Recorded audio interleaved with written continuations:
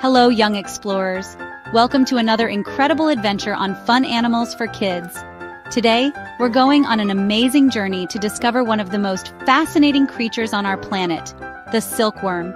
These remarkable insects have changed human history in ways you might never imagine.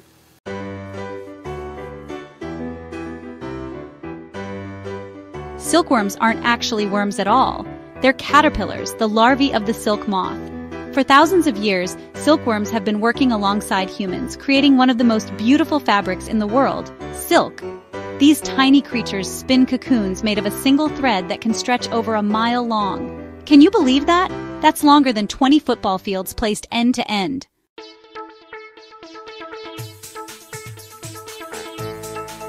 Silkworms have been domesticated for so long that they can no longer survive in the wild. They depend on humans for their survival, and we depend on silkworms for their amazing silk. This relationship between humans and silkworms is one of the oldest examples of animal domestication in history.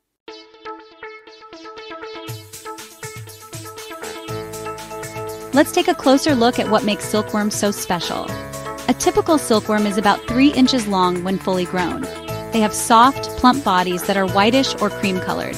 Silkworms have tiny legs called prolegs that help them grip onto mulberry leaves, their favorite food.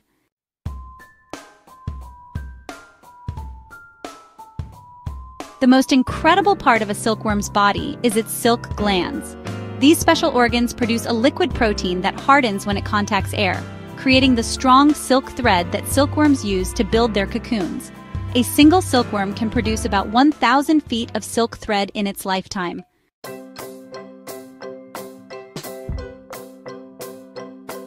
Silkworms have poor eyesight but an excellent sense of smell. They use their antennae to find their way around and locate fresh mulberry leaves to munch on. Despite their name, silkworms are not slimy like earthworms. Their bodies are covered with fine, short hairs that you can barely see.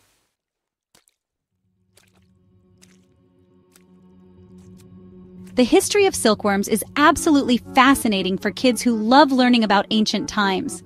Silkworms originally came from China, where people discovered their amazing silk-making abilities over 5,000 years ago.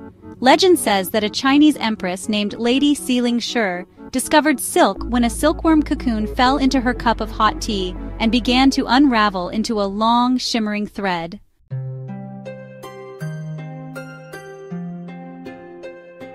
For centuries, China kept silkworms a carefully guarded secret. Anyone who tried to smuggle silkworms or their eggs out of the country could be punished by death. Eventually, silkworms spread to other parts of Asia, the Middle East, and Europe along the famous Silk Road, a network of trade routes connecting East and West.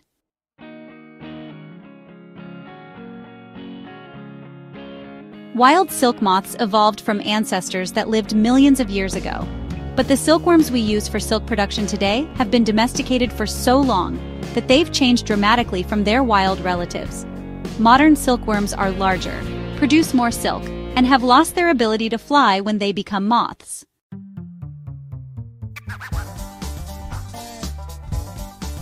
In the wild, the ancestors of silkworms lived in forests across Asia, particularly in China, Korea, and Japan. These wild silk moths would lay their eggs on mulberry trees, providing an immediate food source for their caterpillars when they hatched.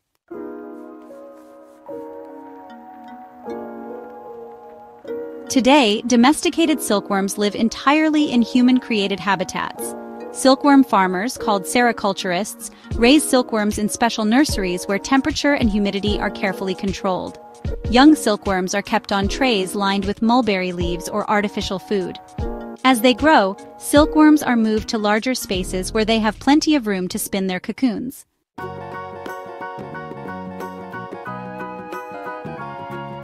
Silkworms prefer warm, humid conditions similar to the forest habitats where their wild ancestors once lived. They're sensitive creatures and need clean, well-ventilated spaces to thrive. A single silkworm nursery might house thousands or even millions of silkworms all munching away on mulberry leaves.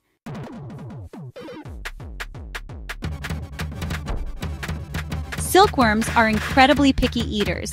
In fact, they almost exclusively eat mulberry leaves. This specialization is so extreme that scientists call silkworms monophagous, which means they only eat one type of food.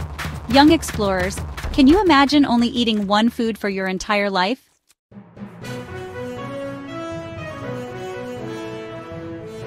A hungry silkworm can eat its weight in mulberry leaves every day. They have strong jaws that make quick work of the leaves, turning them into the proteins they need to grow and eventually produce silk. Silkworm farmers must constantly provide fresh leaves to their hungry silkworms.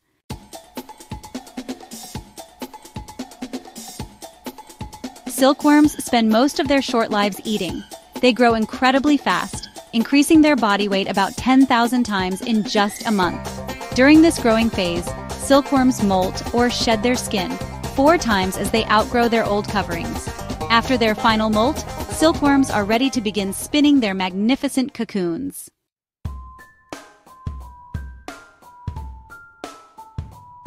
The life of a silkworm is a fascinating cycle of transformation. It all begins when a female silk moth lays hundreds of tiny eggs, each about the size of a pinhead. After about 10 days, miniature silkworms hatch from these eggs, ready to begin their incredible journey.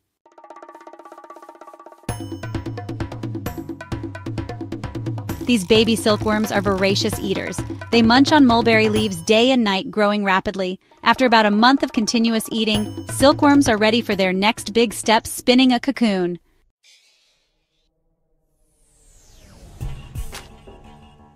Using special glands in their heads, Silkworms produce liquid silk that hardens into a thread when it contacts air.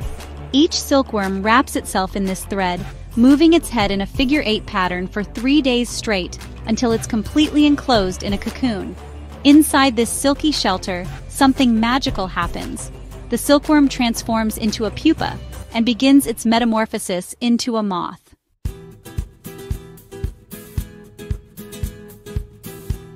If allowed to develop naturally, a silk moth would emerge from the cocoon after about two weeks. However, in silk production, most cocoons are harvested before the moths can emerge, as the emerging moth would break the continuous silk thread. Some moths are allowed to emerge so they can mate and lay eggs, continuing the cycle for another generation of silkworms.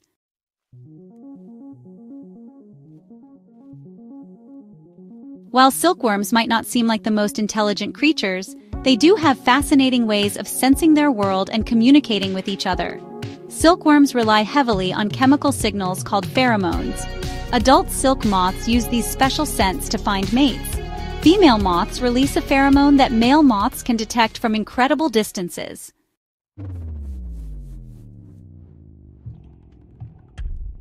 Silkworms also communicate through touch. When many silkworms live together, they often touch and crawl over each other, which helps distribute heat and may share information about food sources or danger.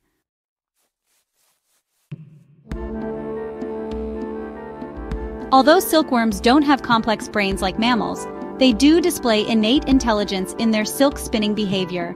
Without any training or practice, a silkworm knows exactly how to create its perfect cocoon, a feat of natural engineering that humans have marveled at for thousands of years.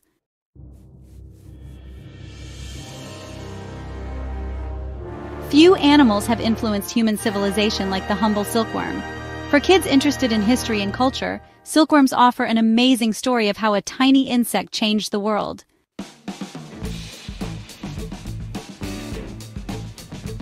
Silk was once so valuable that it was worth its weight in gold.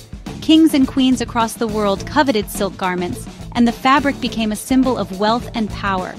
The desire for silk created one of history's most important trade networks, the Silk Road, which connected cultures across Asia, the Middle East, and Europe.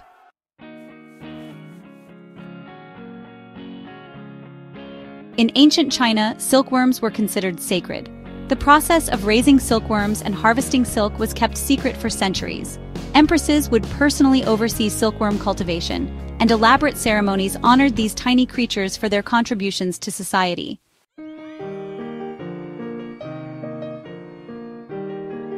Even today, silk remains an important part of many cultures. In Japan, silkworms and silk production are celebrated in festivals and art. In India, silk saris are treasured family heirlooms passed down through generations. The impact of silkworms on human culture is truly remarkable.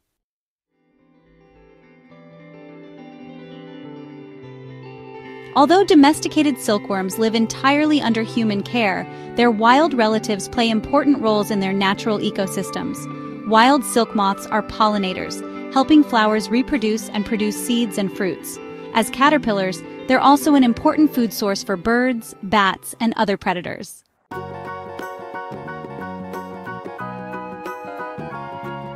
The mulberry trees that silkworms depend on are also ecologically important plants. Their deep root systems prevent soil erosion, and their leaves and fruits provide food for many wildlife species.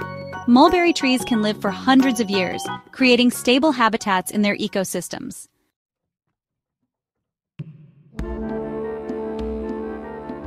In areas where silk is produced, silkworm farming creates sustainable agricultural systems. After the silk is harvested, the leftover silkworm pupae are rich in protein and are often used as food for fish, chickens, and other animals, reducing waste in the production process.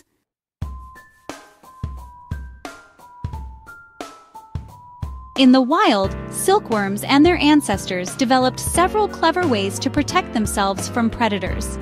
The most obvious is their camouflage. Wild silkworms are often greenish or brownish, helping them blend in with mulberry leaves and branches.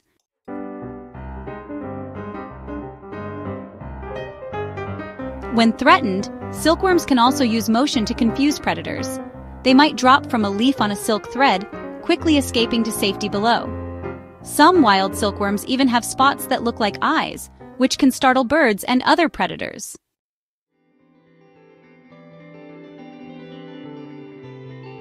Of course, the silkworm's ultimate defense mechanism is its cocoon. This protective shell shields the developing pupa from predators, parasites, and harsh weather conditions.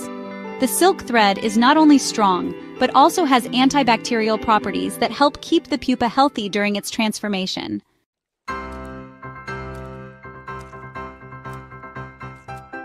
Young explorers, get ready for some amazing silkworm facts that will amaze your friends and family. Did you know that silkworms make a crunching sound when they eat? A room full of hungry silkworms sounds like rain falling on a roof. Silkworms have blue blood. Unlike humans with red blood, silkworm blood contains a copper-based compound that appears blue. If you touch a silkworm, it might do a funny dance.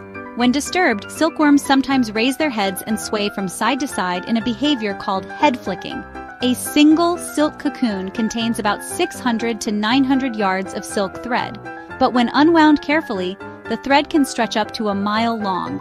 Silkworms see the world very differently from us. They can see ultraviolet light that's invisible to human eyes.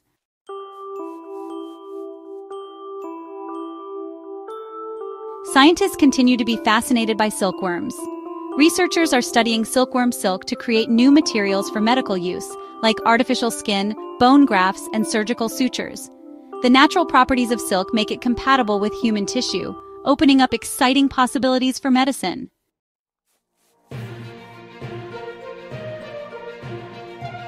Genetic research on silkworms has helped scientists understand how insects grow and develop. By studying silkworm genes, researchers have learned how to create silk with new properties, like increased strength or even the ability to conduct electricity.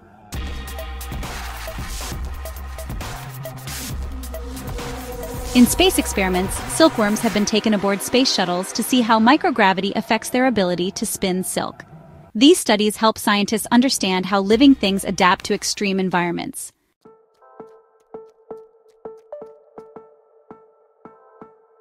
While domesticated silkworms aren't endangered, they face challenges from diseases that can spread quickly through silkworm nurseries. Sericulturists work hard to keep their silkworms healthy through careful breeding and clean facilities.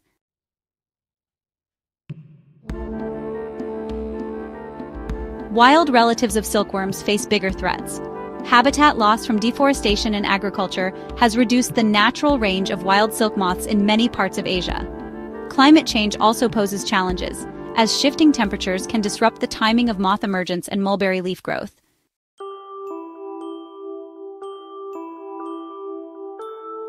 Conservation efforts are underway to protect the genetic diversity of both wild and domesticated silk moths. This diversity is crucial for maintaining healthy silkworm populations and developing silkworms that are resistant to diseases and changing environmental conditions.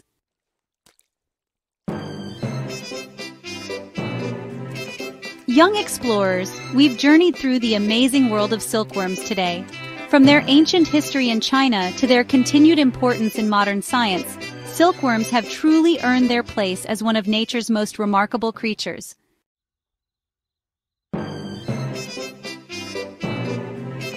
These tiny insects, with their extraordinary ability to create silk, have connected cultures, inspired art, advanced science, and clothed humanity for thousands of years. All this from a small caterpillar that eats mulberry leaves.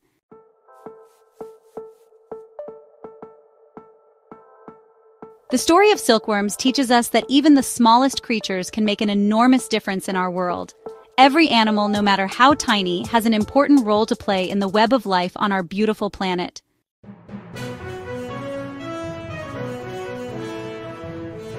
We hope this adventure into the world of silkworms has sparked your curiosity for kids learning about the natural world.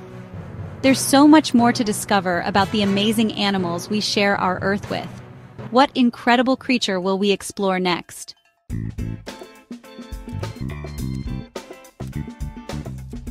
Join us for more educational videos in our next exciting episode on fun animals for kids. Make sure to subscribe to our channel for more animal adventures and learning videos that bring the wonders of wildlife for kids to your screen. Tell your friends about our kids channel where fun learning happens every day.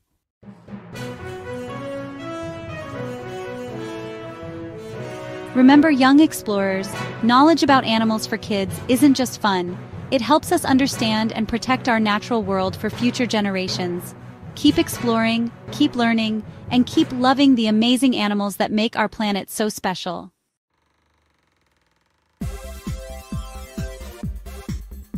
See you next time on YouTube Kids with another animal adventure from Fun Animals for Kids.